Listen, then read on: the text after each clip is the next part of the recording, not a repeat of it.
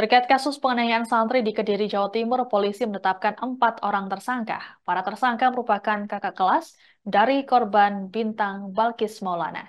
Mereka adalah MN berusia 18 tahun, MA berusia 18 tahun, AF 16 tahun, serta AK 17 tahun.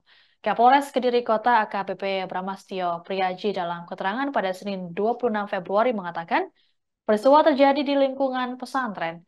Penetapan tersangka dilakukan pada Minggu 25 Februari selesai polisi melakukan olah TKP. Ada motif para tersangka karena terjadi kesalahpahaman sehingga menganiaya korban hingga meninggal dunia. Terkait kabar adanya luka bekas sudutan rokok, Pramastio berujar pihaknya masih melakukan pendalaman. Polisi juga memeriksa sejumlah saksi termasuk dokter yang menerima jenazah di Banyuwangi.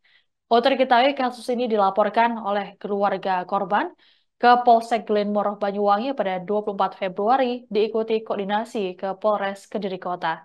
Adapun pihak pesantren mengaku tidak mengetahui peristiwa yang dialami oleh Bintang.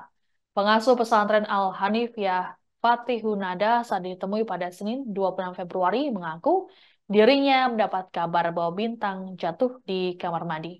Ia pun mengaku tak menyangka dengan peristiwa penganiayaan yang menimpa Bintang.